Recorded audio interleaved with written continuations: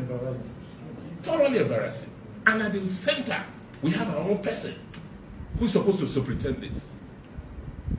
So if your children are fighting and you cannot come and say, this, you know, settle them, then what authority do you have to even be a father? Nothing.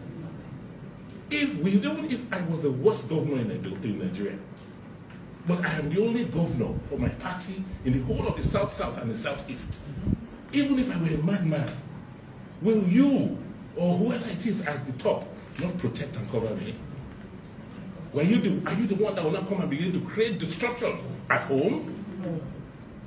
No matter how serious our problems are, will you go out of the home, your house, and go outside and tell outsiders to come and take over your home?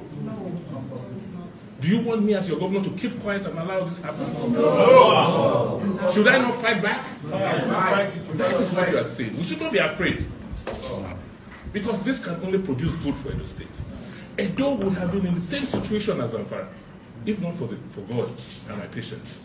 How can I, as a governor, conduct elections and somebody comes and cancels them?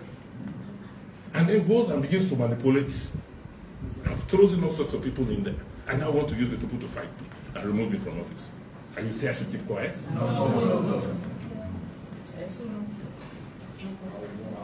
So I have said it that at the end of the day, I only have one mandate to serve Edo people. Yes.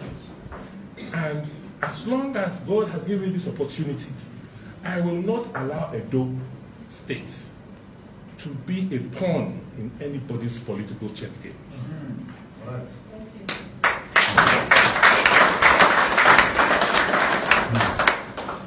And I believe that God being with us, not just with us, not even me, can come out tomorrow and say, oh, because I've done well in Edo, therefore I must pocket Edo and put it in my pocket.